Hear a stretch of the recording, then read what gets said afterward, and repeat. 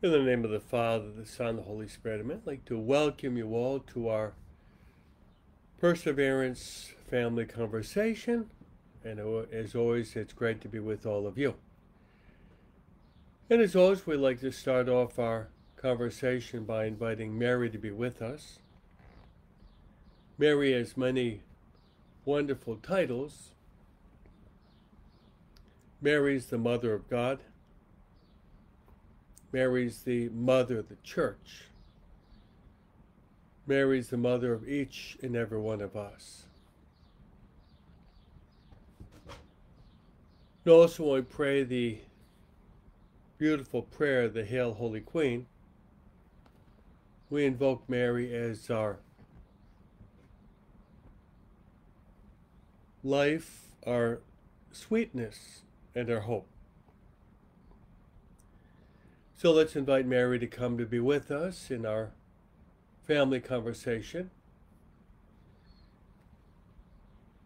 And ask Mary to pray for us that we will love God with all of our heart, mind, soul, and strength.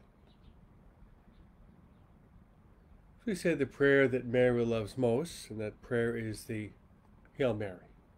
So, together. Hail Mary full of grace. The Lord is with thee. Blessed art thou among women, and blessed is the fruit of thy womb, Jesus. Holy Mary, Mother of God, pray for us sinners, now and at the hour of our death. Amen. Now we'd like to lift our gaze to our spiritual director. Our spiritual director is the Holy Spirit. And he has many different titles. Holy Spirit is the Paraclete. Holy Spirit is also the gift of gifts. Holy Spirit it's also the sweet guest of the soul.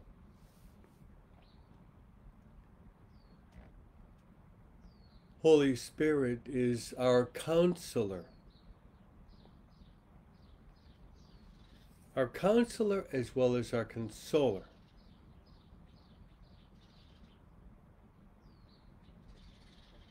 And the Holy Spirit is our interior master or teacher.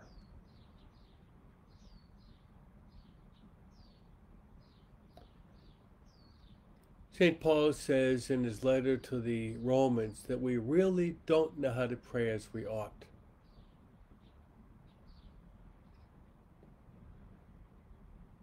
But the Holy Spirit,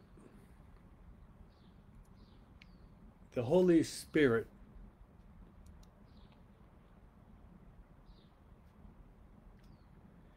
intercedes with ineffable groans so that we can say, Abba, Father.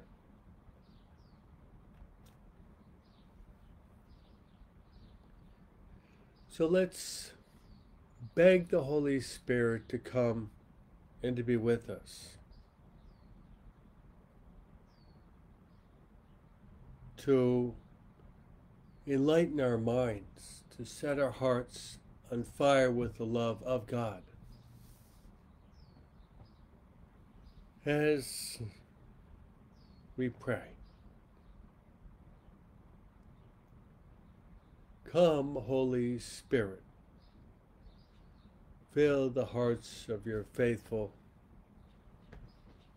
and enkindle within us the fire of your divine love. Send forth your Spirit, and they shall be created thou shalt renew the face of the earth. Let us pray. O God, who did instruct the hearts of your faithful,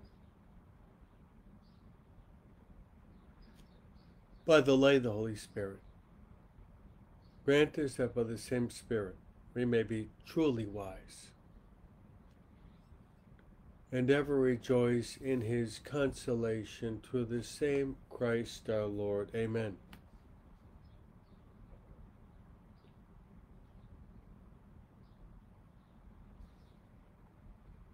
Glory be to the Father, to the Son, and to the Holy Spirit, as it was in the beginning, is now, and ever shall be, world without end. Amen.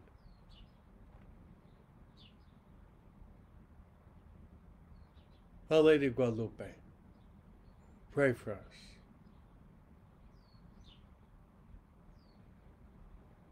Saint Joseph, pray for us.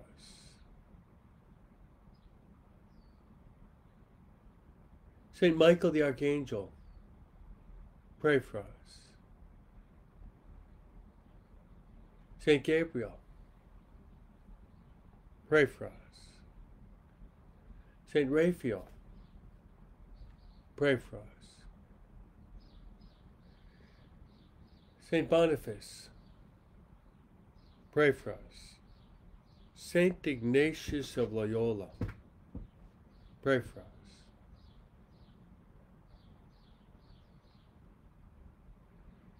Saint Francis Xavier, pray for us.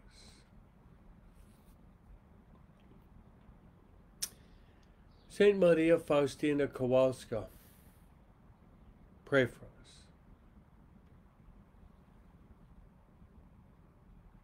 All God's angels and saints, pray for us. In the name of the Father, and the Son, and the Holy Spirit. Amen. Uh, true, my friends, the family that prays together stays together. And the world at prayer is a world at peace. So after praying with you, I will be praying for all of you. Now, pray for you in the greatest of all prayers. That prayer is the holy sacrifice of the Mass. No greater prayer in the world than the holy sacrifice of the Mass. So I'd like to place you on the altar and offer these specific intentions. First, I'd like to pray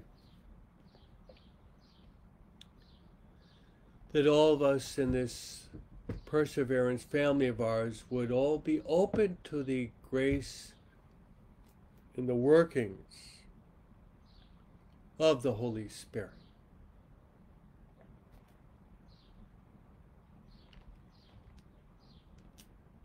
We can pray as such. Come, Holy Spirit, come. Come, Holy Spirit, come through the heart of Mary. Come, Holy Spirit, come. Come, Holy Spirit, come through the heart of Mary. My second intention will be I'd like to pray for all of our families and family members for the conversion,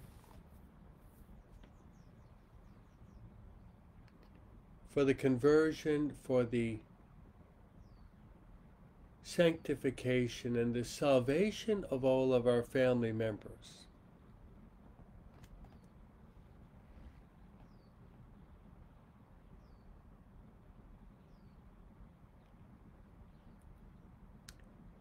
Jesus says, What does it profit a man if he gains the whole world and loses his soul?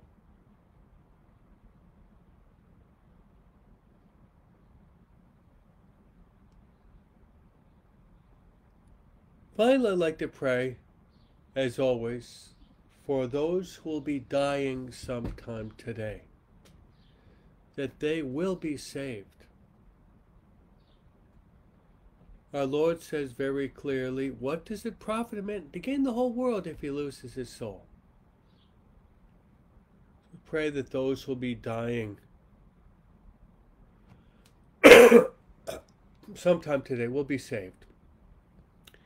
Like those who pray for ourselves that we would we would obtain the grace of all graces. And the grace of all graces would be to die in the state of grace.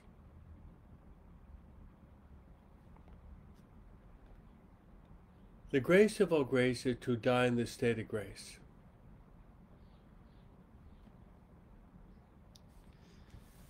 So I pray that we would live our lives always focus, focusing upon God and the ultimate purpose of our life. The ultimate purpose of our life is to get to heaven.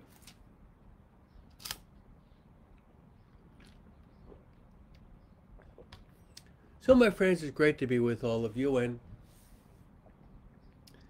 as is always, there's a lot to cover in a relatively short span of time. I'd like to give you an overview of where we're at today. We're actually in the ninth week of ordinary time. And June 5th, the church celebrates the memorial of St. Boniface, bishop and martyr, who lived in the year 672 and died June 5th, 740,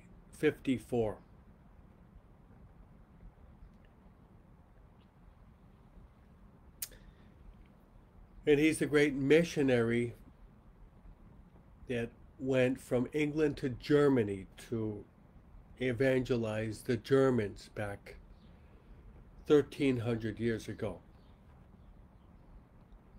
So we can talk briefly about this great missionary saint. His name is Saint Boniface. In the readings, my friends,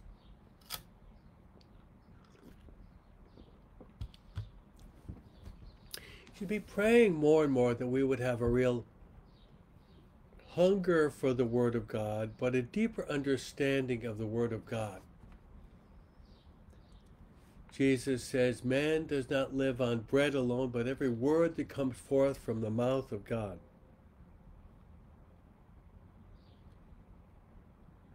Over the past week, we've been reading through what we call the first two encyclicals. And that would be we've been reading through parts of the first letter of St. Peter and the second letter of St. Peter. So after that, the church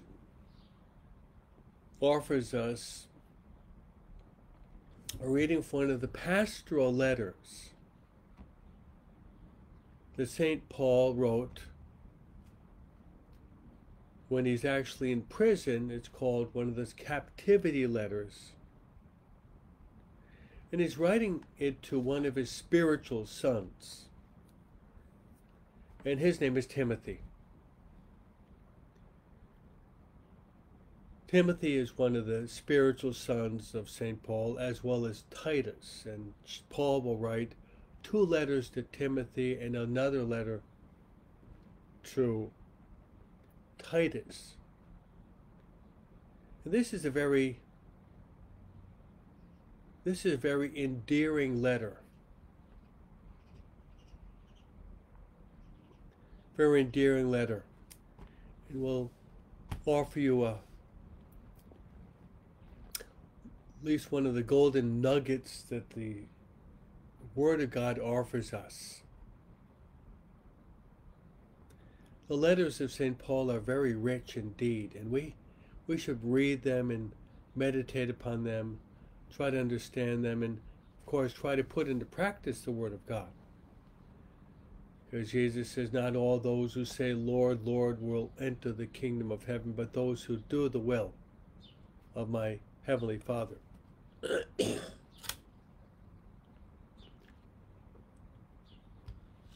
The responsorial psalm is taken from Psalm 123. And that is, To you, O Lord, I lift up my eyes. Know, that antiphon, I think, is very helpful. Because, my friends, if we just focus upon what's going on in the world, what's going on with the wars, what's going on in our country, what's going on in the social milieu, we can easily become discouraged.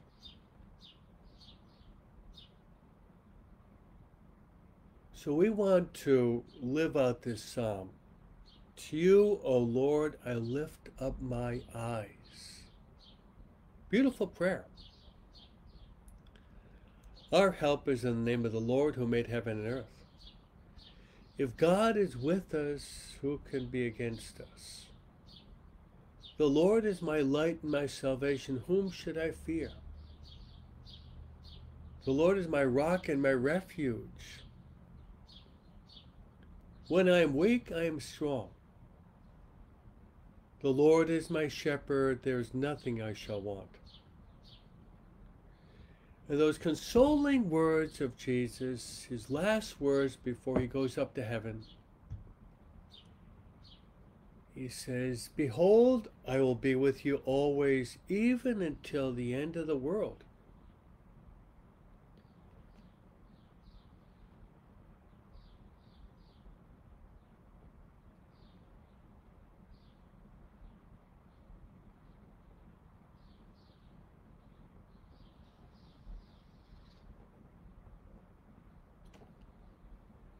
So there we have it. Then the gospel is the Sadducees who do not believe in the resurrection. They're trying to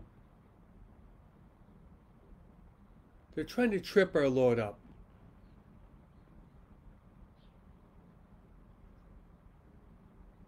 He says if a man has a wife and he dies and They have seven of the brothers that die. Whose wife is he? It's somewhat of a stupid question. They're trying to trip the Lord up. And the Lord will respond to them, pointing out their foolishness. Our God is not the God of the dead, but the God of the living.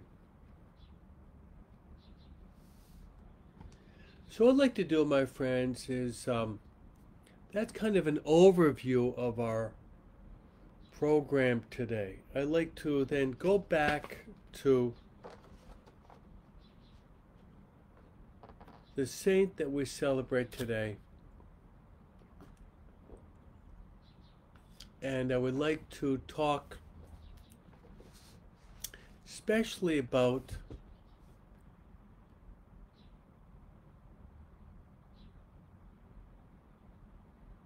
The call to be a missionary.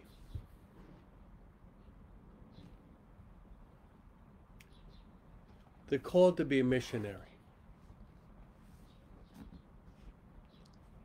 All of us are called to be missionaries.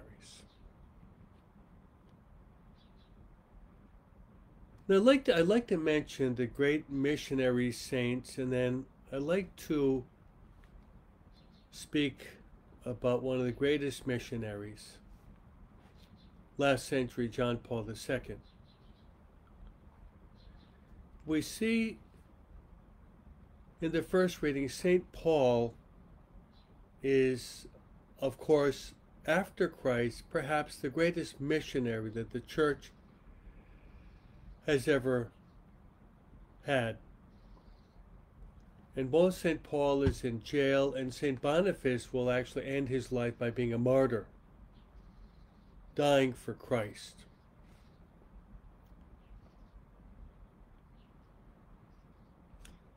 So I'd like to mention a,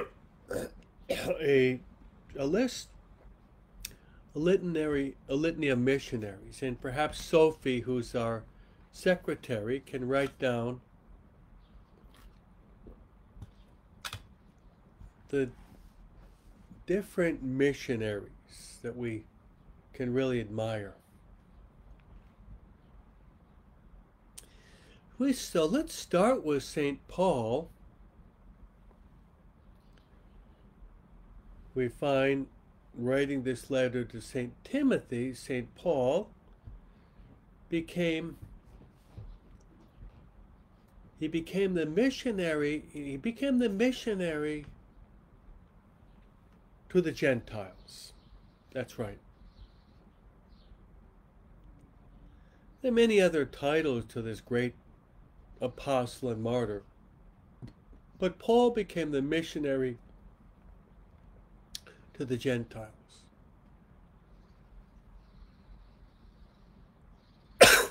that the word of God was not limited simply to the Jewish people, but to the whole world. And that's why the word Catholic actually means, coming from Greek kataholos. Catholic actually means universal.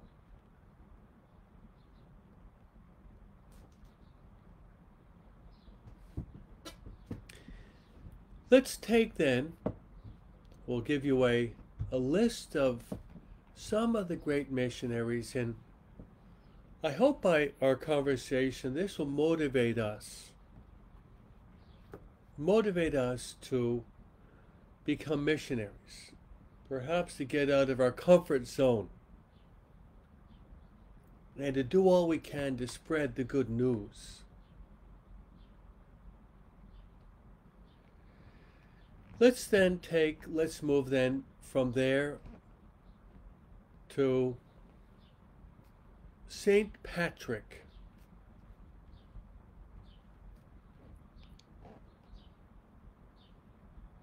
St. Patrick.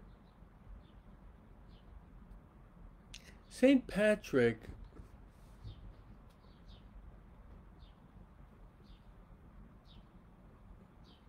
was born in Britain, but St. Patrick went on to become the great missionary to the Irish people.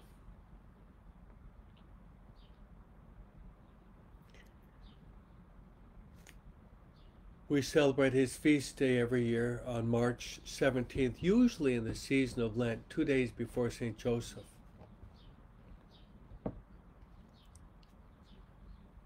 But his love and influences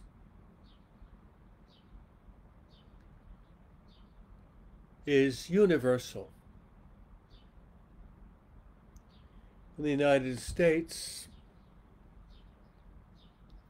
there are many Irish priests that have come here to work and do missionary work. For example, Father Patrick Peyton, the Rosary priest, lived most of his priesthood in the United States, but Father Patrick Peyton was actually born in Ireland. Father McGivney who founded the Knights of Columbus, also born in Ireland. So let's move so from St. Patrick, the patron of Ireland, to another missionary saint.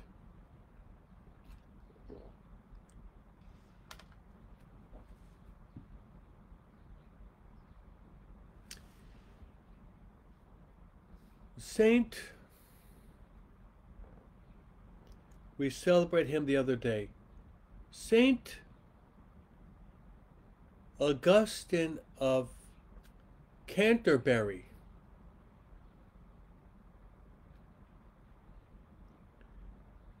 Saint Augustine of Canterbury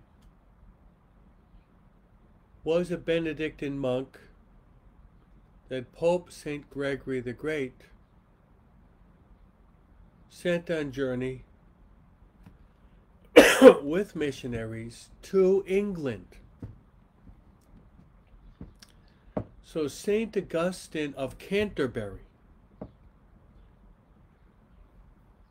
would be the missionary to the English people. He was actually an Italian, but sent by Saint Gregory the Great to do missionary work in the country of England.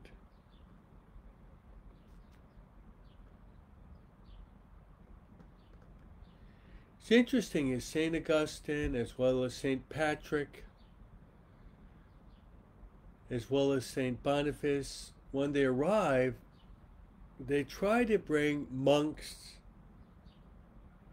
and nuns and to establish monasteries, houses of prayer and penance, so that the missionary work would blossom and flourish and extend to the whole country.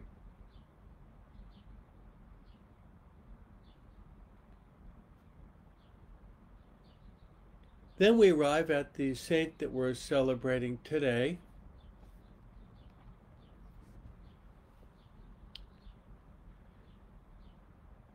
And his name is Saint Saint Boniface.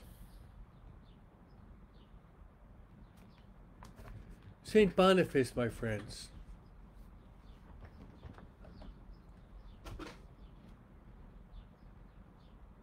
Saint Boniface went on to become the missionary saint of Germany.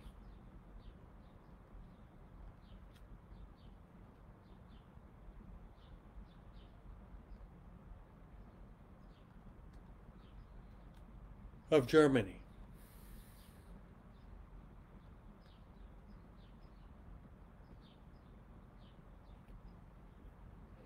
Even though St. Boniface, he was an Englishman,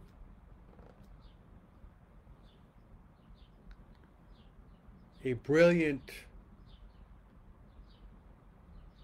English Benedictine monk, he felt the real desire to be a missionary. And the Holy Father wanted him to go to Germany where the faith was already present, but it was basically dying and surrounded by a lot of superstition. And one of the most famous stories in the life of St. Boniface was that the German people had a great love for nature. They attributed supernatural forces through elements in nature, especially in trees. So St. Bonaventure went to this oak tree that they basically were adoring an oak tree.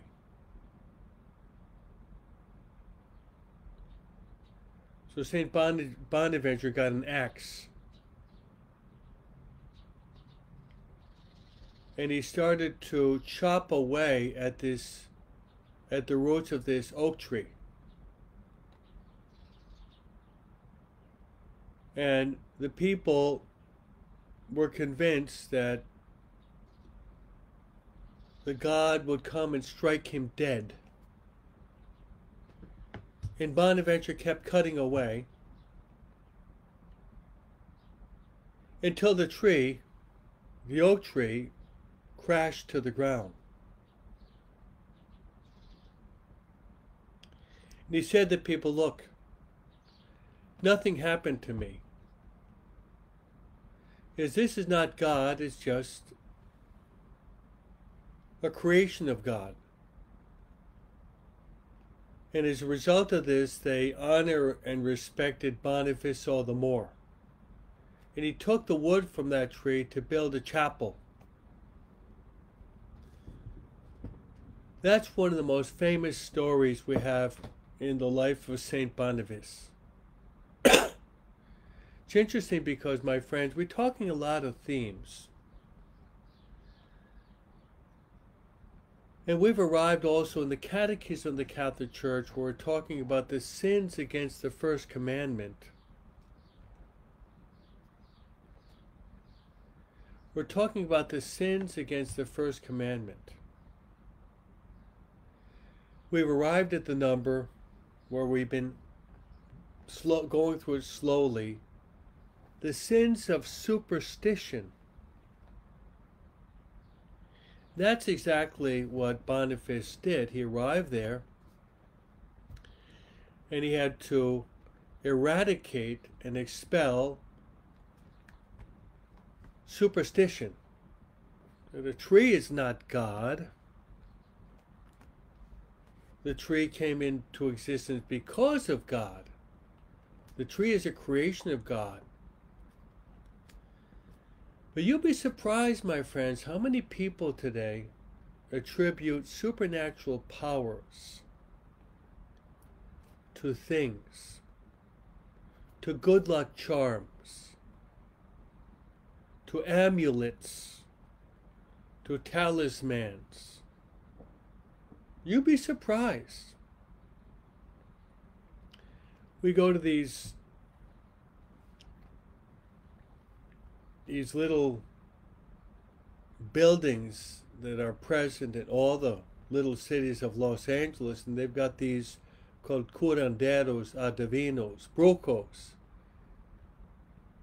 which they're inviting people to come in so that their hands can be read. They take out the tarot cards, they look into the crystal ball, they do what's called an Olympia. You'd be surprised how many practice of, of superstition are present in the big cities, and not even the big cities. As St. Thomas Aquinas points out, if we do not worship the one and true God, then we're going to end up by worshiping the false God. That's right. If we don't worship the true God, then we can worship the false God.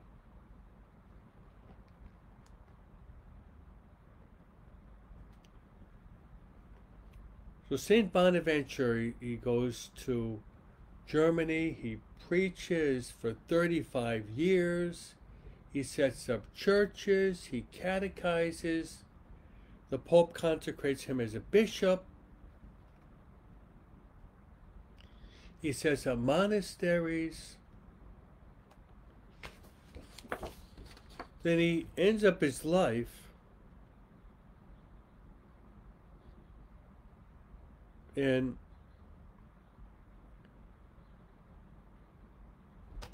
a place called Frisia.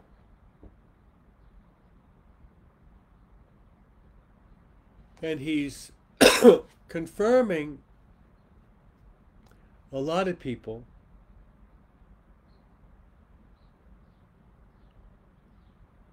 and an angry mob rushes into the church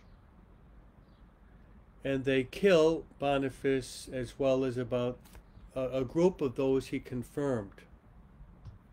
Boniface was already in his late eight, early 80s. So Boniface was the missionary of Germany. He was a bishop, he was a preacher, but also he was a martyr. So that if you go to Mass today in honor of Saint Boniface, you'll see the priest coming out in red.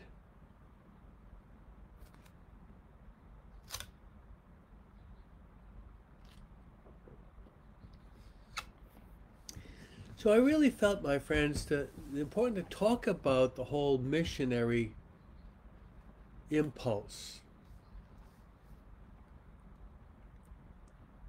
So thanks be to God that this great man, Boniface, was able to plant the Christian Catholic faith in Germany. Please pray for Germany because it's going through a lot of problems today with respect to understanding a proper doctrine. Going through a lot of confusion today, Germany. Country that's very affluent, but there's a lot of confusion. Especially about sexual identity about the priesthood, just a lot. There's a ball of confusion in Germany, so let's pray. Let's pray for Germany. And be thankful that we had one of the greatest theologians, popes in the Catholic Church, who just died about a year and a half ago, and his name was Pope Benedict XVI, also known as Cardinal Joseph Ratzinger.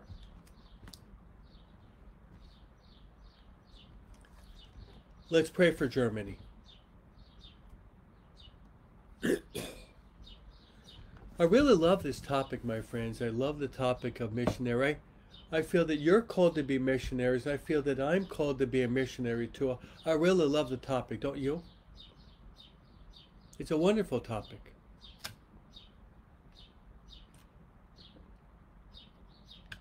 Let's move to another. Let's talk about another missionary.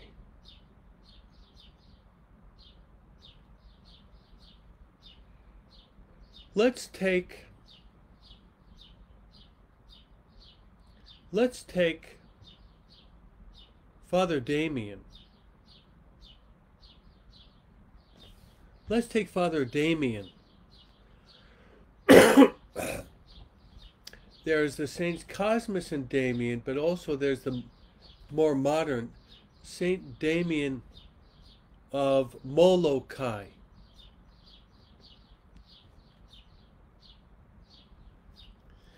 last name was Veuster. But Saint Damien, Saint Damien of Molokai,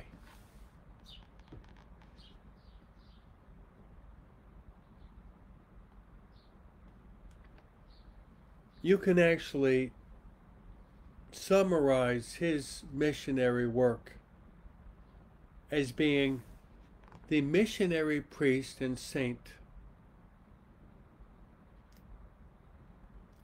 of the lepers. He willingly offered himself to go to the island of Molokai, where the lepers were basically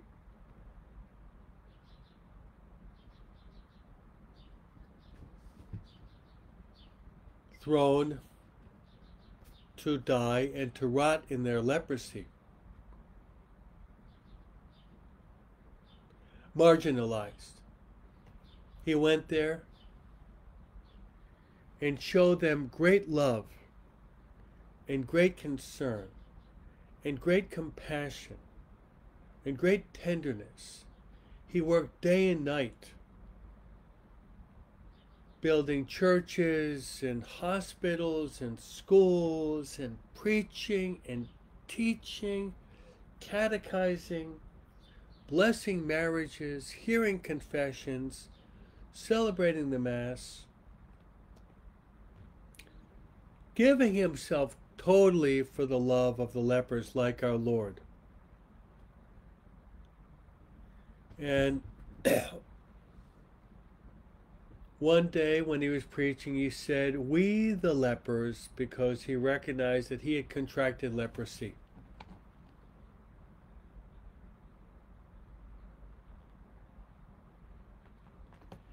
And then you can write down, Sophie, after St. Damien died,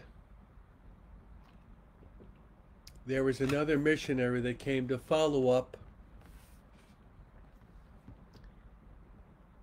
to follow up on the work of Father Damien, and it was a nun.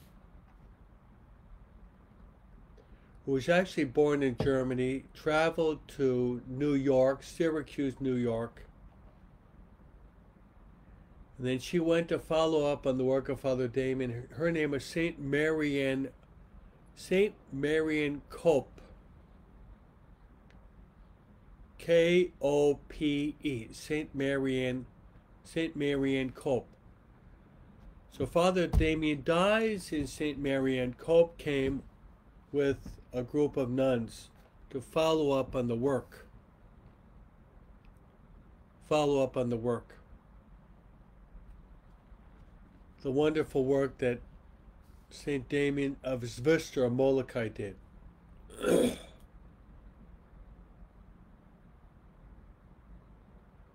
We're really giving a good panorama, panoramic vision of the great missionary saints in the Catholic Church. Why do we take one that is very dear to us, where I am? I've been living for many years, and Sophie can write down Saint Peter Chanel.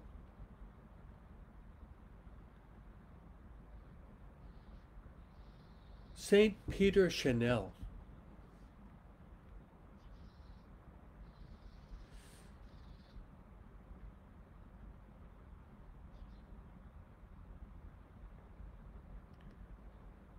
Saint Peter Chanel.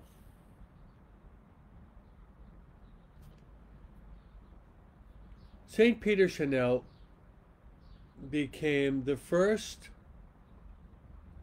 he became the first missionary saint of you might write down Oceania or the South Pacific.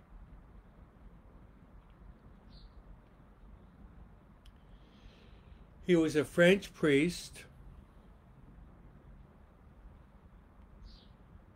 He entered into the Society of Mary, or the Marists. St. Peter Chanel went on mission to an island called Futuna. His work was very difficult. And St. Peter Chanel said, in these circumstances, you have to be very holy.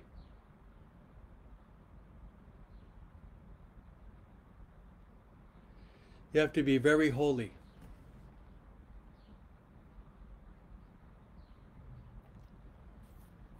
So after several years, the son of the chieftain was converted, and the chieftain got very angry, was fearful that Peter Chanel would dominate the country by his religion, and the king sent a group of thugs to surround his hut, and they clubbed him to death.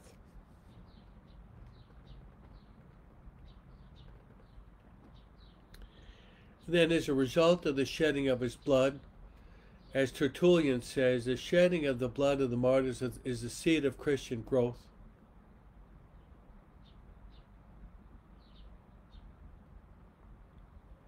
The whole island was converted.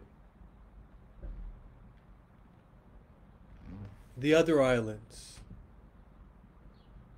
the other islands surrounding Futuna also, they were converted. Not too long ago, I was reading up on this saint, and it said that this was the area in which Catholicism was flourishing most. This is maybe a few decades ago. Peter Chanel lived about 140 years ago.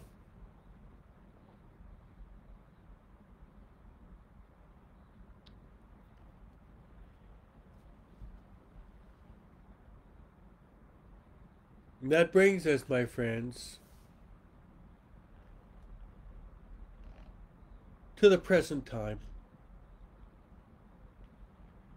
And if we look at the modern world today, in the past century,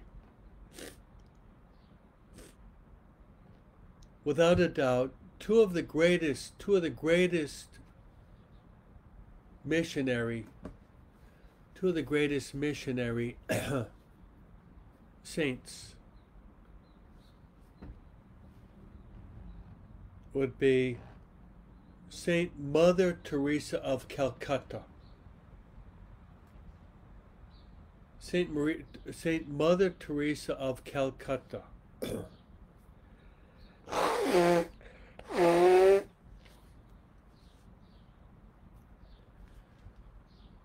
She became a universal missionary.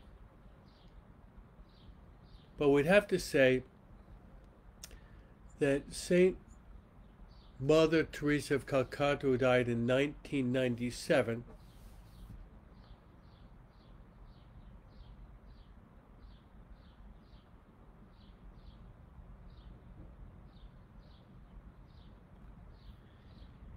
is that she became the missionary, the missionary saint to work with the poorest of the poor. That's right. She would say that we have to see Christ in the distressing disguise of the poor. Those are the classical words of Mother Teresa to be able to see Christ in the distressing disguise of the poor.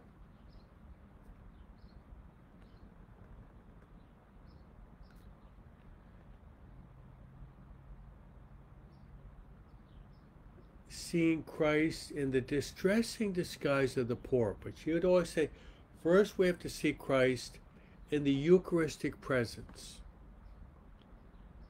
starting off the day with the Mass and Holy Hour, seeing Christ in the in the Eucharist, and then we can see Christ in the distressing disguise of the poor.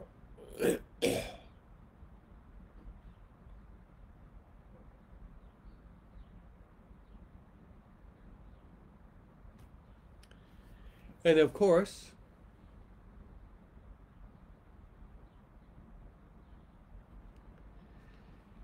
And of course, I think I'd be remiss if I didn't mention who I mentioned at the beginning of my talk the great Pope Saint John Paul II. Beyond a shadow of doubt,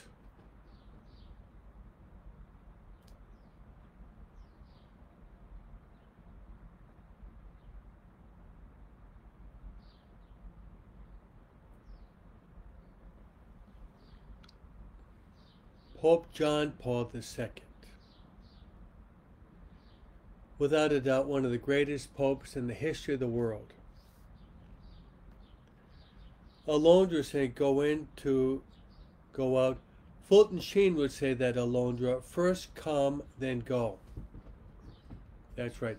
First come, then go. Come to be with Christ. Come to me and I will make you fishers of men. Then the words of Jesus, his last words go out to all the world and teach them all that I taught you, and baptize them in the name of the Father and of the Son and of the Holy Spirit. And behold, I am with you always, even until the end of the world.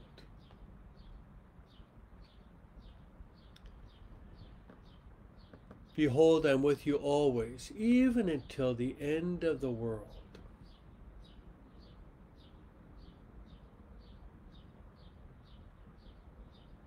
So Pope John Paul II he left us many writings. One of his encyclicals, encyclicals is actually on this topic that we've been developing the whole hour. And the name of this encyclical is Missio Redemptoris Missio Redemptoris, which would be in English for the mission, the mission, the mission of the Redeemer.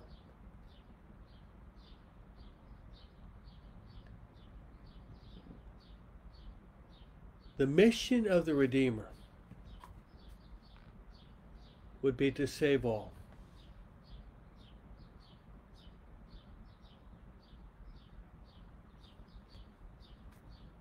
So, my friends, John Paul II beckons all of us to strive to become modern missionaries.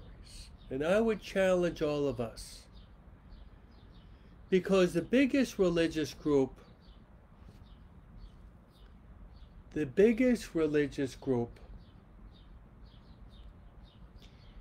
in our country in Mexico, in the Philippines, in Europe, are Catholics, but they're non practicing Catholics. I'll challenge all of you to make a concerted effort to try to bring back one fallen away Catholic back to the fold every month. Why not? Let's try to do it. So I hope that this talk has been helpful to all of you, motivating all of us, myself included, to be missionaries. Jesus said, Go out to all the world, teach all that I taught you. Baptize them in the name of the Father and of the Son and of the Holy Spirit. And behold, I will be with you always until the end of the world. The Lord be with you. May Almighty God bless you, the Father and the Son and the Holy Spirit. Amen.